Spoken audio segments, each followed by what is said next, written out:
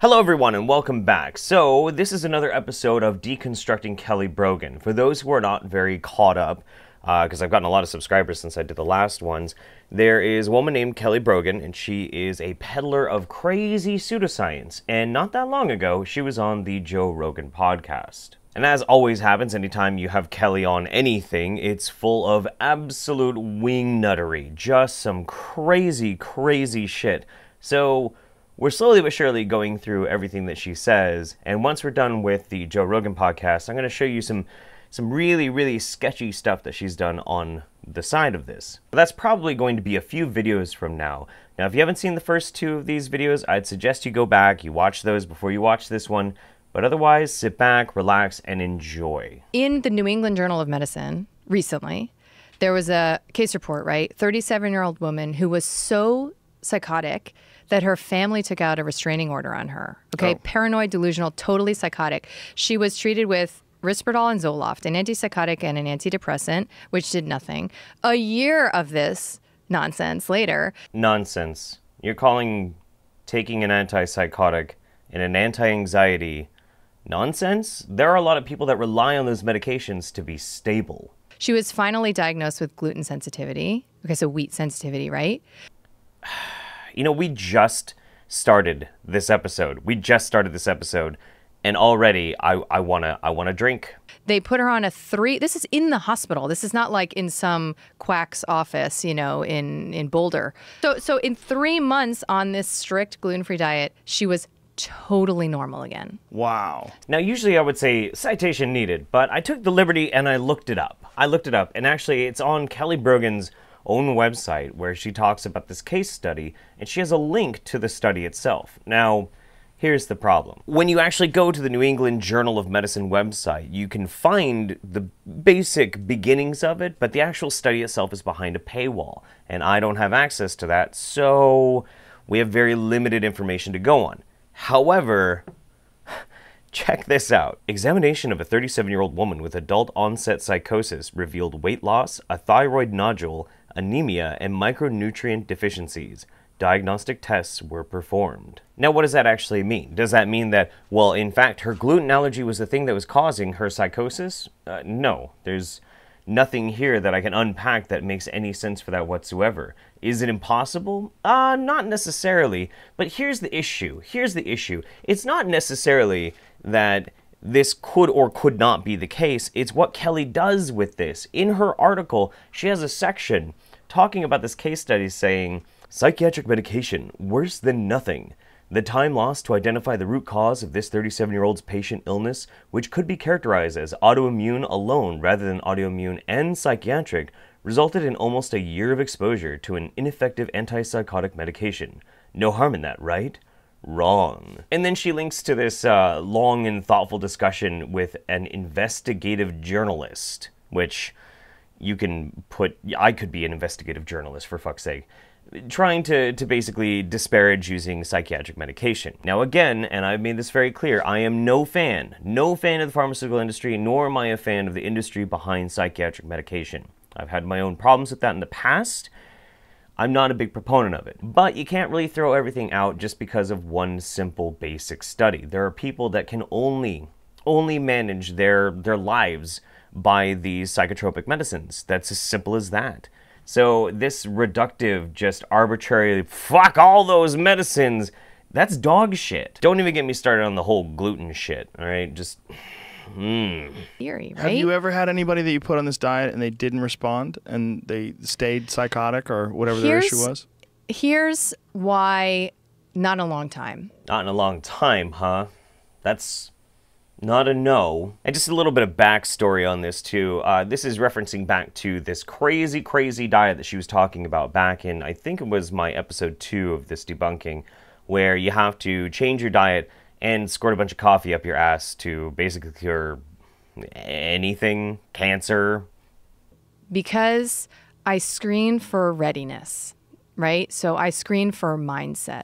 You know, at this point, I wouldn't be surprised if she said I screen for thetan levels, honestly. That's that's pretty much what I read this as. And and that's what we are talking about earlier.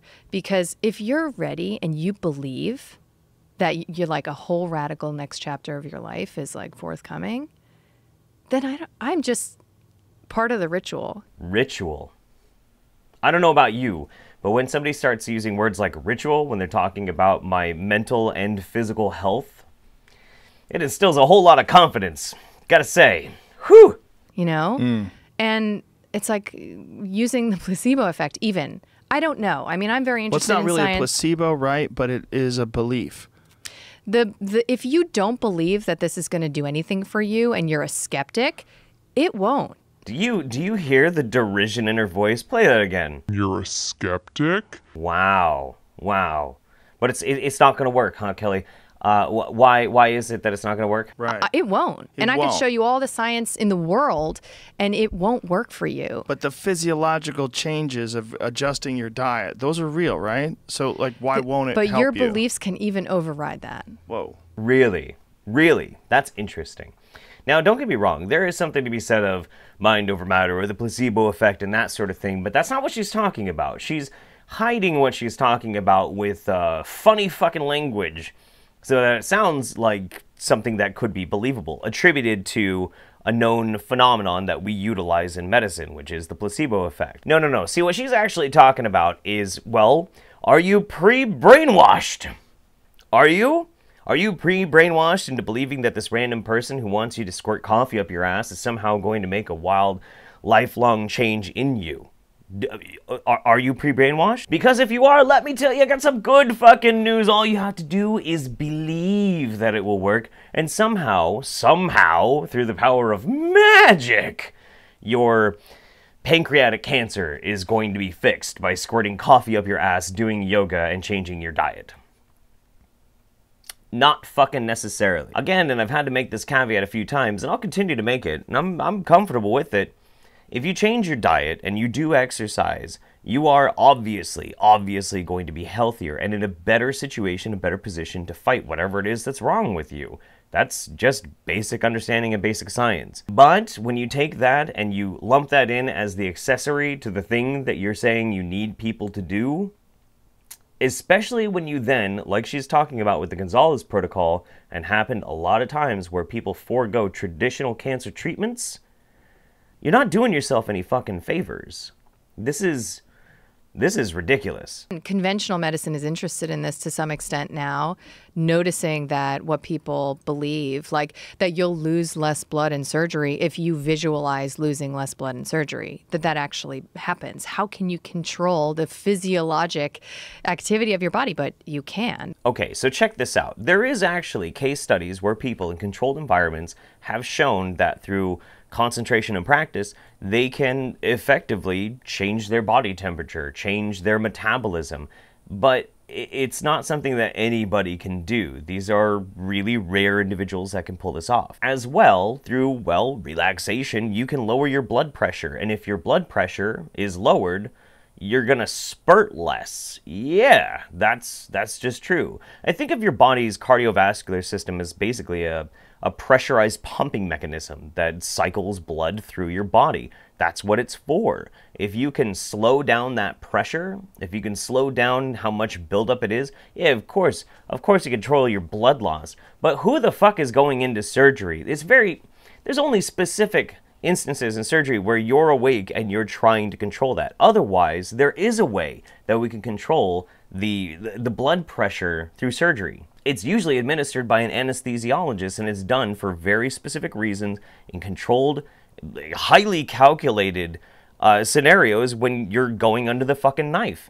Uh, This is this is not something that most doctors are going to be relying on you to to have trained in the ancient yogic arts uh, of body manipulation. No, they're going to use drugs, medication. Like, why is this a selling point? Why is this something that you're focusing on, Kelly? Like, uh, it just. Uh, That's why I Really? was saying like we have They can prove that? It's a s- it's a it's a study on PubMed. Wow. Yeah. it's a study on PubMed. I can find a lot of stupid studies on PubMed. Yeah, so yeah. how do they convince them that they're going to lose less blood? They medit they visualize it. They meditate on it, visualize losing less blood. You what know? if you have one group, you say, dude, you're going to spray like a fountain You're like a broken fire hydrant. You're gonna just be You're gushing all over the yeah. table. You're gonna be a sprinkler. You're right. You should conduct this study. That would be fascinating to see if the nocebo effect would have. It probably would. Yeah, that's that's that's that's a good idea. Let let's uh, let's suggest that Joe Rogan should go out of his way, uh, take time off from his podcast and his successful stand-up career to instead go do a study. Yeah, no, that's a that's a that's a good. That's very clever, Kelly. That's the oh, fuck fuck off.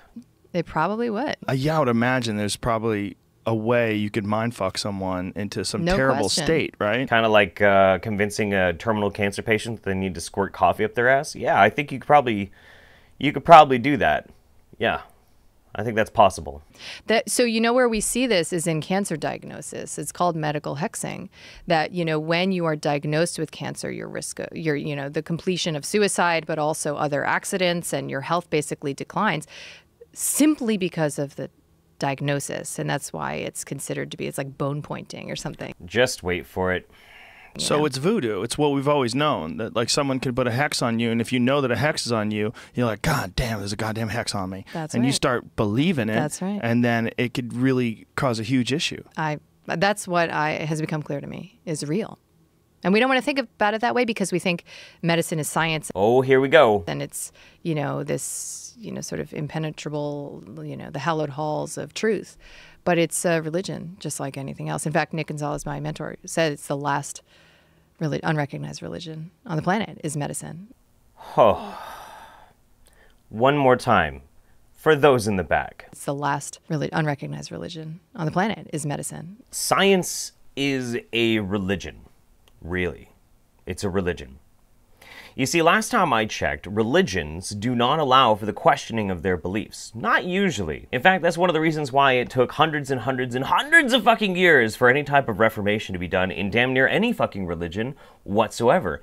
Kind of like how, I don't know, we're dealing with today. Yet, for some strange reason, science is changing constantly. We're changing our opinions on things, we're getting new data, we re examine those beliefs, and then we move from there. That's usually how it works. That makes it pretty much antithetical to the dogmatic practices of religion. Instead, the only reason why you would say this, Kelly, is to try and disparage science as something that people don't necessarily have to trust. And why would you do that? Probably because you want them to trust you. Yeah, like those poor saps who actually followed Nate Gonzalez's protocol, took themselves off chemotherapy, and died horrible, agonizing deaths far sooner than their counterparts.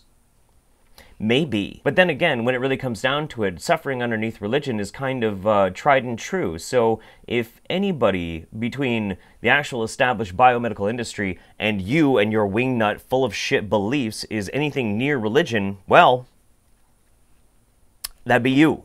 I find the very concept of this extremely insulting and massively fucking irritating because trying to to throw everything under the bus, all of science under the bus just because you want to hawk whatever bullshit quackery you have going on is so unbelievably arrogant. This this is evil.